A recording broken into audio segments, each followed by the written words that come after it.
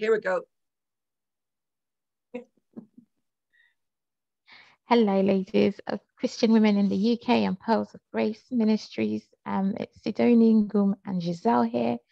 We are going to be doing this hopefully in a two part series, um, if not maybe more, depending on how the conversation goes. And we are going to be talking about giving um, in relation to our Christian walk, in relation to our fellow members within the body of Christ, and our daily Christian living. Um, so I think we want to start off with, um, let's go with Gisele, giving. Oh, thank you, giving. it's, what it's do you make of this sometimes difficult, difficult conversation to have within the church? Well, I think it's very important um, because giving is important. And I've proved, it's been proven to me, I've proved it over the years that when you give it is given back to you, but you've got to give with that heart that you're not expecting it to come back. And you know, I've got a couple of wonderful testimonies of my own journey where people mm. have actually, you know, given to me. Um, but I'm also a strong believer that the, the, the, the blessings, financial blessings that have come my way, weren't actually due to the fact of me giving financially. Because years ago, uh, struggling financially, I, I did tithe my 10%, but more importantly, I tithed my time. I had a lot of time and I tithed time to go and sit and having a cup of tea with somebody in a chat, uh, volunteering at different things, going to the church and helping out, cleaning the toilets, making the tea, you know, being a, a greeter and all the rest of it. And so it's it's not all about giving money. Churches we and ministries, we all need money, but our time, I believe, is the most important thing that we can give to somebody. Uh-huh. Mm-hmm. what do you make of it? I know you are you're itching to go. Go on, let's let's have it. I think it's really, really good to hear what you said, um, Gisele, because giving for me, I did not really come from a religious tradition which which really spoke about giving so much. Being raised in the Catholic Church, okay, you give alms in church on Sunday. I remember coming across. I think was, no, sorry. I remember coming across um, one of my parents. It was my dad. My dad's church contribution card. Sidonie grew up in the Catholic Church, so she might know this our parents used to have this contribution card, which I think they just gave a certain percentage of their income. It never was really like the 10% thing. So I grew up feeling like tithing was this Old Testament thing. It wasn't relevant to us. And so I was never really, um, giving did not really, it wasn't a big thing for me. In fact, you know, as kids, we were taught to go and put money in the church basket. It was usually change, right? so um, I think I carried on with that attitude when I grew up. I won't lie, but that was also because when I grew up, now I began to have my own ideas and I began to, you know, look at the church and I was like, man, the Catholic Church is rich. They don't need my money, you know. So I was like, yeah, if I throw a pound in the basket, yeah, that's a to me that was a big deal because my thing was the church is already rich. Like, why am I giving them um, so much money? But in terms of giving in general, I think um, my mom taught me very much about giving. I was able to see that my mom did this thing where she used to take us to an orphanage in the local area. Um, talking of giving, we used to go and clean the church when we were kids. Um, and also um, just seeing my parents, how they related to family members who were in need. So as much as I wasn't directly giving to the church, my general notion of giving was quite good. I used, I, I thought it was a good thing to help people. So there was a point when I actually considered, you know, when I, you know, I dismissed the idea of tithing and I thought it was this terrible, I, I thought it was, you know, this thing that was irrelevant and, oh, pastors were just using it to, you know, to just exploit people. That's how I felt. And, you know, Sidonie probably knows, I was quite vocal about that. But um, in a way, I understood the sense of tithing. I understood that the church needs money to run, right? So there was a time when I actually thought, okay, I don't even go to church anymore. But I would like the idea of taking 10% of my salary and just giving it to charity. So yeah, my my sense of giving was very, very different until I began to, I got saved and then I began to look at the Bible and really study principles behind giving. And I'm still studying. So this is why I'm really interested to be here. Good. Good. That, that that's very informative, isn't it, Sidonie? It is. I it like is, that. isn't it? Just yeah. yeah I mean. I like that. I mean, I'm I'm probably the same. I grew up in the Catholic Church, so giving wasn't um you know, like like Ngum said, you had your contribution cards, your parents had their contribution cards, and then for the kids, they'll give them change, it was, and then you go put it in. So I grew up with that sense of, you know, it was just something you did every Sunday morning. Again, I think with the rise of the prosperity gospel, so my my my journey to to being born again is quite interesting. So I grew up in the church and I fell away because the Catholic Church has its own issues, as we all know, mm-hmm. um, and it's very sort of legalistic and um, religious in its approach. Now, mm-hmm. it does some things wonderfully good. I mean, I, me and Ngum, we laugh about this all the time. It is brainwashing. There's some prayers that we yeah. learned at three that we can still say now in our 30s and our 40s. So some things they do absolutely brilliantly, but, you know, some of the doctrines are just not biblical. Yeah. So I did come back into the faith. Um, and fortunately, unfortunately, I came back during the rise of the prosperity gospel. Okay. And that kind of made me think, well, hang on a minute. When you just see what the Bible says giving should be and what the tithe should be used for, and what some of these um, pastors and mega churches are using it for, yeah. and then you look at the disparity between the ministers and the pastors who are meant to be servants mm-hmm of God because Christ says that, you know, let the highest among you be the least. Yes. The highest among you should be willing to serve. And so when you see that disparity, you have pastors that have private jets, for example, yet you have members within the congregation who cannot afford three square meals a day. Exactly. Yeah. And then you start to think, do you really need like a bit like do you really need the tithe? Like is it is this going to your pocket or are you using it to further the church? Um, and that again, you know, then I started thinking, well, it's not my place to judge. They'll be judged by God whenever they meet God the judge. However, there's just that fleshly thing that's like, if I've got to give my 10%, I'm not going to give it to the church. I'm going to sponsor a child somewhere. I'm going to give it to a charity somewhere. I am going to give it to like an organization that I believe will make a difference with it, not line somebody else's pocket. Mm-hmm. I, I, again, I became conflicted because, you know, the, the Bible is clear that tithe should be given to the storehouse. And your storehouse is where you're nourished because the storehouse is where people keep their grain. In the olden days, that's where you keep your grain. So when you need flour or food, you should go to your storehouse. Yes. You should give your tithe to where you're worshipping. Mm-hmm. Um, but then you think, okay, there's the argument that that was in the Old Testament, wasn't it? In Malachi, a lot of these prosperity gospels kind of quote Malachi, um, you know, tithe and see whether I won't, I won't open up the windows of heavens and the, the floodgates of heavens with, and pour out abundant blessings on you. And a lot of the prosperity pastors preach that and they use that verse. Don't? But yeah. then you, yeah, you flip over to the New Testament and Christ says he's not come to abolish the law, but to fulfill it. Yes. And he tells us the story of the, the, the widow who didn't have anything. Yeah, her last mite. Yeah. Yes. And all these rich people came and, you know, the tithing, and she gives her mite, which in comparison to the rich people's giving was literally everything. Mm-hmm. So then it starts, Christ then starts questioning. I mean, he says this to the Pharisees as well. He says, you know, you hypocrites, you you you tithe up to 10% of your herbs and your cumin and, and your spices, but you ignore the weightier matters of the law.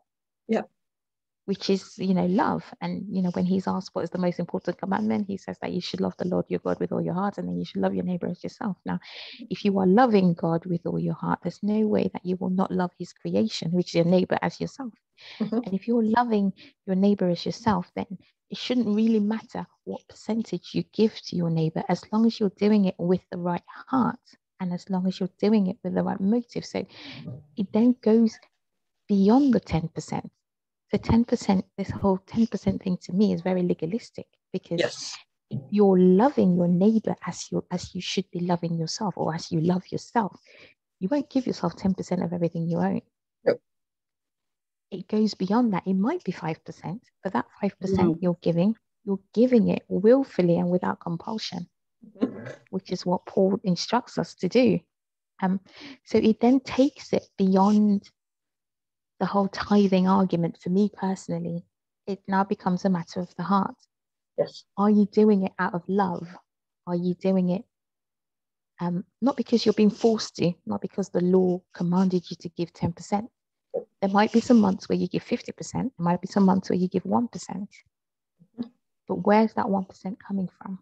And it's interesting because when we were talking earlier, I was telling you guys I was reading um, something and, and Second Corinthians 8 to 9. I won't read the whole thing, but it's just I don't know. I've probably read this before.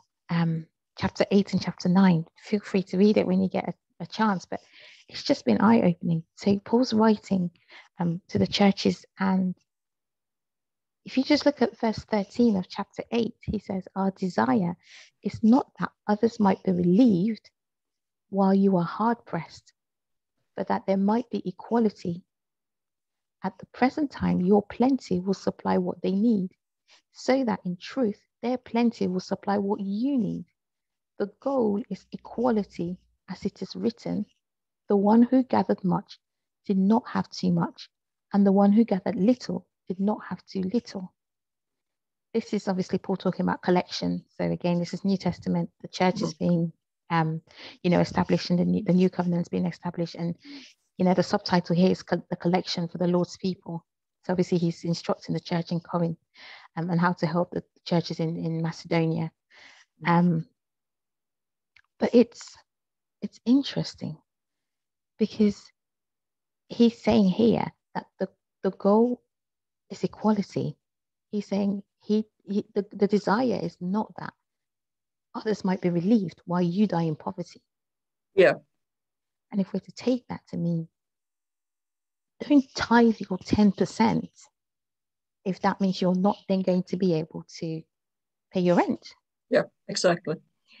Our But like- desire is not that others might be relieved while you're hard pressed, but that Yeah. there might be equality. And in Second Corinthians chapter nine, doesn't Paul Mm. also say you must decide in your own heart how much to give? Oh So- my God, lady. So so that throws the 10% out of the water, really, doesn't it? Doesn't Um, it just? You know, uh, like as you say, if you can only give one percent, if you give it with All your right heart. attitude, the right meaning, and the right yeah, it's it's it's better than somebody giving fifty percent with a grudgingly attitude, isn't it? It is. yeah. And you made a good point. You made a good point earlier, Gisele. You said you found that that tithing your time Mhm. um, seemed to be a lot more important than, than financial tithing. Yep. In this age, That's, that's, that's one thing I think a lot of people misunderstand. Now, when people talk about giving, because of the prosperity gospel and the way the churches have taken it, a lot of people automatically shut down and the blinkers come down because they think, oh, they want my money. That's Yeah. It's not your money. It. It's time, um, resources, your time, your resources, which is your money and your talent. Mhm. These are the three main areas of giving. very, your very, resources, your money is just a third of it. very much so. Yeah. Your talent and your time are things that cannot be replicated. Um, money Wow. can. I can give a hundred pounds a month. You can give a hundred pounds a month. And Ngum can give a hundred pounds a month. Money can be replicated within the body of Christ. But your time and your talent cannot be replicated by anybody else. And that's Right. the unique set of skills that only you bring to the body of Christ. And so if you're able to tithe of that, your, your talent and your time, Mhm. that is something that nobody else can offer your 10 minutes in God's service or your one hour a week in God's service. Nobody else but you. Um, so I think that's a really good point. Let's maybe try and, as Christians, move away from this whole money is important, yes, and the world needs money to run. We need to buy things. yeah, you like like like we said at the, at the start of this, churches buildings need money for upkeep, for uh, uh, utilities, and all the rest of it. Mm. Uh, but money's not the be all and end all. No. It, it, it yeah. really isn't. And especially when we're uh, coming up uh, through this sort of, we're, we're still sort of in some places in lockdowns and everything like that. Uh, there's a lot of people that are so lonely that don't maybe see somebody from one mm-hmm. week to the next. And what a lovely way if you could even just go to their window or their front door and speak with them, even send them a text message. Take a few minutes, few few minutes out of your busy day just to send them a text message. Or here in my bookcase behind me, I've got a little box of different cards. And uh, every now and again, God will lend my heart and uh, one of my neighbors, and I'll write a wee note, just checking that you're okay hope everything is well. And I've dropped my phone number onto it.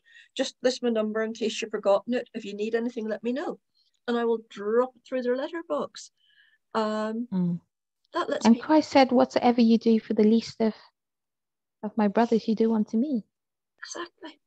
So sitting there and, and having a cup of tea with someone who's in a hospice because they've only, you know, they've only got months to live, that will go a lot further than giving them a hundred pounds a week. Exactly. They'll time, value that more. Yeah. yeah. Time is so important. It really is. It and is. If, it and is. If we and we can give some time to people, I believe it's the best thing. I really do. Yeah, and it's interesting because, like for example, in my church, we don't do offering. We don't. We don't collect an offering. Mm-hmm. And I've always found that a bit, you know, like why don't you collect an offering? You know, surely we're instructed to come to the Lord with you know, with our gifts and present them to the Lord. And it's, you know, throughout the whole Testament, throughout throughout Old Testament, you know, you're not you're not to come before the Lord empty-handed.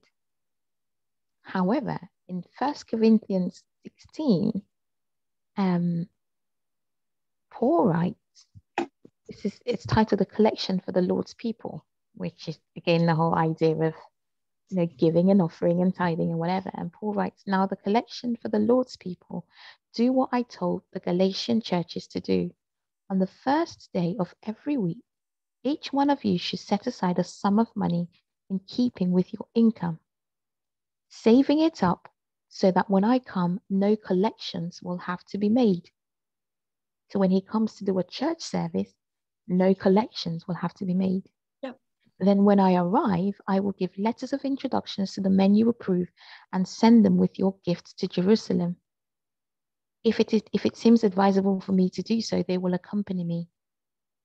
Isn't that amazing? So he's telling them before he even goes there to do a church service, he's saying to them, set aside your offering because when I come there, I won't do an offering during the service. When we're having our you know church group, this is exactly what I said to the churches in Galatia you know, he's he's saying to the church in Corinth before he gets there, he's telling them, this is what I did to the churches in Galatia.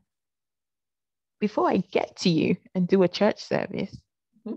on the first day of every week, each one of you should set aside a sum of money because when I come there to Corinth, he's telling the Corinthians, when I come over to Corinth to do a church service, I won't make any collections. Nope. No collections will be made whilst I'm there. Instead, I'll put aside all the money that you've collected and I'll send it as your gift to Jerusalem. And isn't that an interesting concept? It's that thing where you were saying earlier, isn't it? Each man should decide in his heart what he what he what can and what he wants to give. Yes. Mm-hmm. And and then in, in Second Corinthians again, he's obviously telling them that the, the goal is not that will relieve some people and make you hard pressed. The mm-hmm. goal is that there should be equality. And, and and I think isn't that what God wants for all of us? That your brother shouldn't suffer whilst you languish or, or something like your brother shouldn't languish in poverty whilst you just live in riches and, and refuse to share some of the blessings that you've been given. I mean, can I just say yeah. um, that particular bit touched me a lot because when you look at one of my problems with the the the whole prosperity gospel slash Protestant work ethic, if you like, is that sometimes I used to listen to evangelicals and, you know, you follow America. And there can be a lot of ideology around giving or around how people should relate to each other. And people will always claim that it's their Christian background, right, that informs that. And it's very interesting for you to tell me here that the goal should really be equality.